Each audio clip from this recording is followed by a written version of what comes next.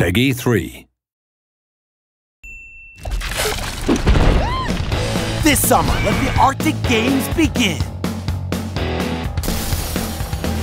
It's the Herd versus the Pirates.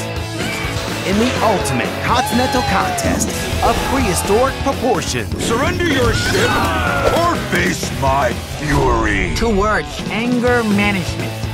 Ice Age Continental Drift Arctic Games. It doesn't get any cooler than this. And see Ice Age Continental Drift the movie in cinemas July 13th.